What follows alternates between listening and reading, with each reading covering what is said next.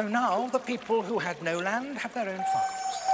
Things in the jungle might be uncomfortable, but at least they have planted their crops and can hope for a good harvest. Their new home is likely to be on the edge of one of the big new roads, such as the Trans-Amazonian Highway.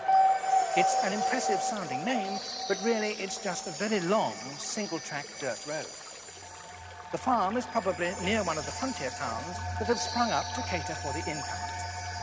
These towns look for all the world like the Wild West towns on the cowboy fronts, with a general store, a saloon bar, a government land claim office, and a few other hastily erected wooden shacks.